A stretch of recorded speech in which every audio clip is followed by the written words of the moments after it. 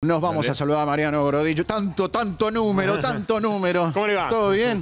Bien, número ¿usted? del Congreso, se viene el número del INDEC. Sí, tal cual, 3,5% dio, dieron a conocer la inflación del Congreso. La del INDEC la van a anunciar mañana a las 4 de la tarde Jorge Todesca, el nuevo director este del INDEC, en el Salón Eva Perón. Si 3,5 dio la del Congreso, la del INDEC, ¿cuánto va a dar?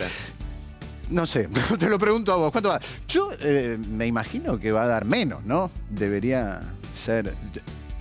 me No. que- ¿No? No. ¿No? Mirá No. que tres y medio ya de por sí es alto. ¿Vos decís que, que no va a ser menos? Va a ser más. Va a ser Pará, más. pará, pará. Mirá que nos mira Macri, nos mira Prat Guy. Hay que decirlo. Bueno, está bien. Te lo vamos a anticipar. 3,7. Está bien, es más alta. 3,7. Te quedaste corto. Eh, 3,9. Toca los cuatro. Y ahí nos quedamos. Pasa. ¿Pasa los cuatro?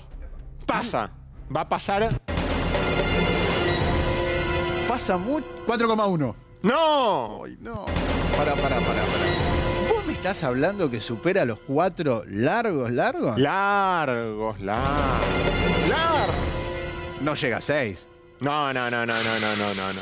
No. Entre 4 y medio y 5 va a estar. No. Pero para vos me decís que la oficial va a ser tanto más alta que la del Congreso, donde hay incluso 4, opositores. 4,6, 4,7 van a anunciar este, la inflación Qué del... eh, tuviste 50% de aumento en los cigarrillos, 10% en la nafta, que te incidió mucho en alimentos y bebidas, 2,5% aumentaron alimentos. cambia la este, manera de medirlo? y.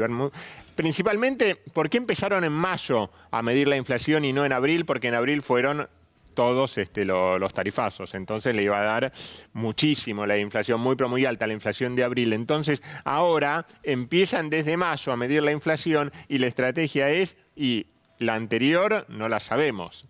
Entonces digo, la interanual va a ser la más alta de todas, la de mayo.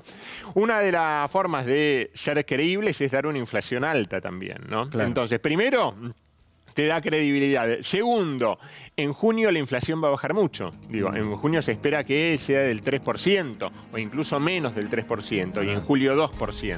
Está bien. Eh, es- Están ah, preparando el terreno para un gran anuncio a sí, El segundo semestre. Ojalá. sí, en el segundo semestre va a caer este. La expectativa es que en el último, más que el segundo semestre, el último trimestre. último Ahora ya, sí, en, un- en el último trimestre caiga por debajo del 2%, termine en el 1,5% la inflación. Lo que tenés es una inflación interanual, si medimos la del Congreso, del 44% los últimos 12 meses del año, eh, con lo cual la Argentina se convierte en el, en el ranking mundial de la inflación. Estamos cuartos. Bueno. O sea, ahí, casi, casi en el podio. Casi en el podio. Venezuela Bueno, después lo vamos a lejos ver primero. eso. Después lo vamos a ver eso. Bueno, eh, ahí, ahí te dejamos picando eso, eh. Atención, estamos, eh, estamos ahí de ganar, no la Copa América, no, de No, llegar no, a lo no. más alto de, de la ¿Te acordás inflación con, mundial. con Alfonsín? 200% Bueno, mensual estamos- había sido con Alfonsín estamos en el lejos de 89, eso. estábamos muy, pero muy Ah, qué lejos. suerte. Ahí había sido 4% por día, era en el 89. Ah, Luis, tremendo. un 3,5% en cualquier país del mundo es una cosa normal anual. Anual, claro. Sí. O sea, no nos vayamos a los extremos, porque si no. Acá yo lo te- superamos.